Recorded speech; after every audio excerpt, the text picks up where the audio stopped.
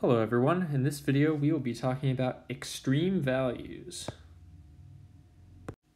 So what do we mean by extreme values? We really mean, uh, when we have a function, a maximum or minimum value of that function. So this is something we care about a lot in applications, right? So uh, if we're talking about minimizing cost, minimizing you know travel time, maximizing profit, these are naturally things that we would investigate in the real world. And it turns out we can use calculus to analyze a lot of these things. So that's kind of our goal here. So first let's look at a definition.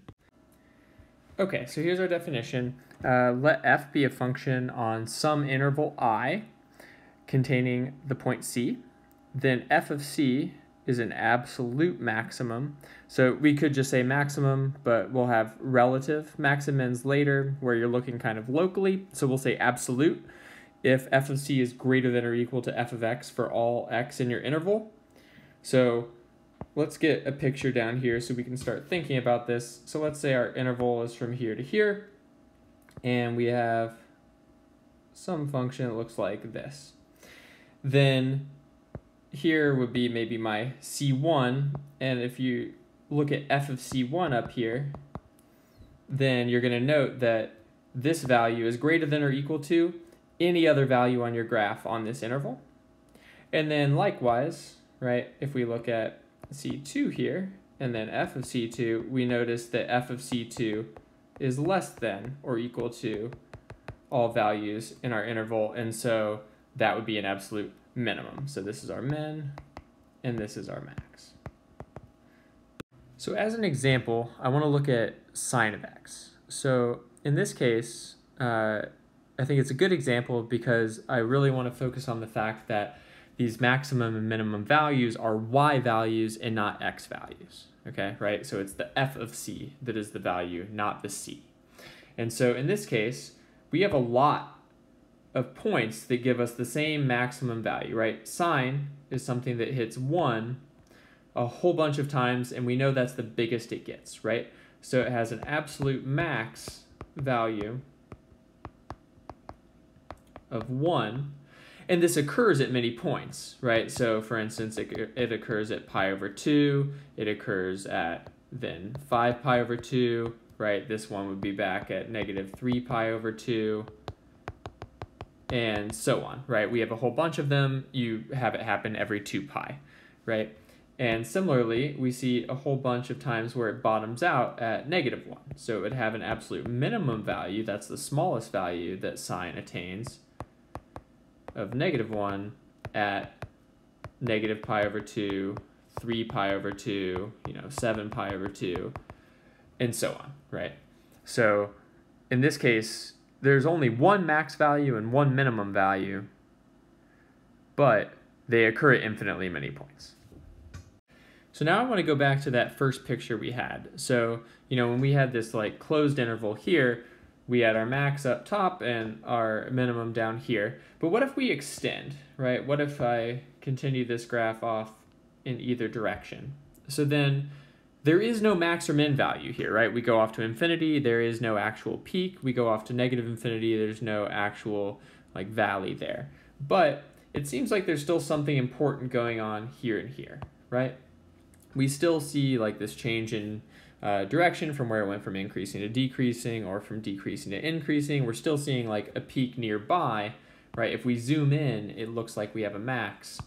So this introduces the notion of relative extrema, where rather than looking at the whole interval, you're concerned about small neighborhoods of points, right? So I'm looking locally, I'm zooming in on this, and it looks like a max there. And we will introduce this formally next.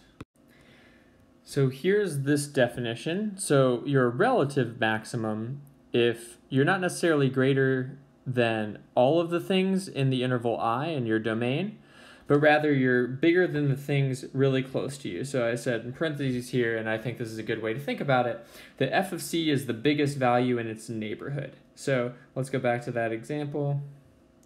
Right, so if this goes off to infinity, negative infinity, then if I look here, so it's not the biggest overall, right? Because if I go far enough to the right, I'm going to go up above it.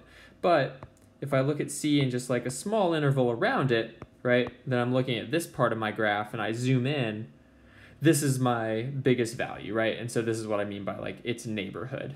And similarly, if we do something over here, you know, if that was C1, say, and this is C2, um, then again, if we take a small interval around, we zoom in on this point, this is your relative minimum, even though if you go really far to the left, you're going off to negative infinity here. So it's not the smallest on the whole domain. Okay, and so here is exercise one. So I just drew a graph here, and I want you to find the x-coordinate of the location of all of these kind of in order. So an absolute maximum, an absolute minimum, uh, or I should say of all of these. So there may be more than one answer per. Uh, absolute maximum, absolute minimum, relative maximum, and relative minimum. So again, enter all possible. And if you don't think there is one, uh, then write D and E if there isn't one. Okay. So the last thing we'll talk about here is the extreme value theorem. So we've already seen the intermediate value theorem, uh, and we will later see the mean value theorem. So this is kind of the middle one. Uh, so all of these are, are pretty important in their own ways. And this one is a way to tell us when there exists an absolute max and absolute min for our function. So here's the statement.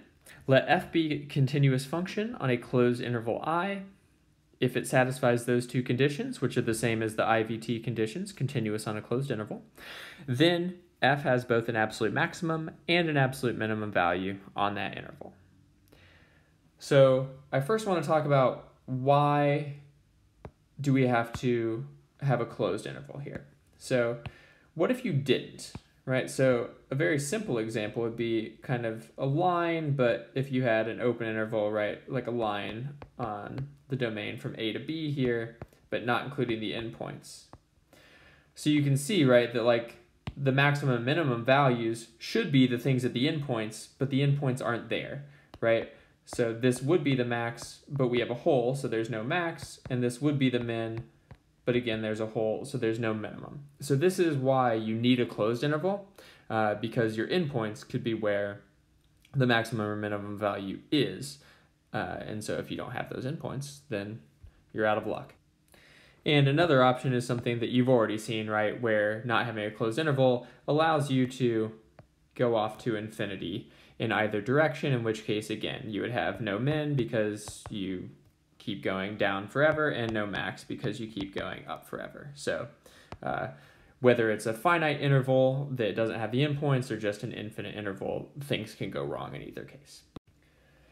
So for your second exercise, I actually want you to tell me why continuity is a necessary assumption here. So can you give an example of why you could potentially be missing a max or a min or both if your function is not continuous? Like what can go wrong?